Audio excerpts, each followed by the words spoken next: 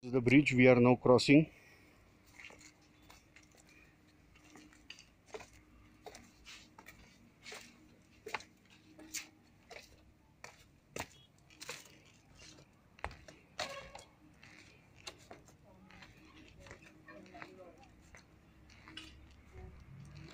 In this way we have to get down.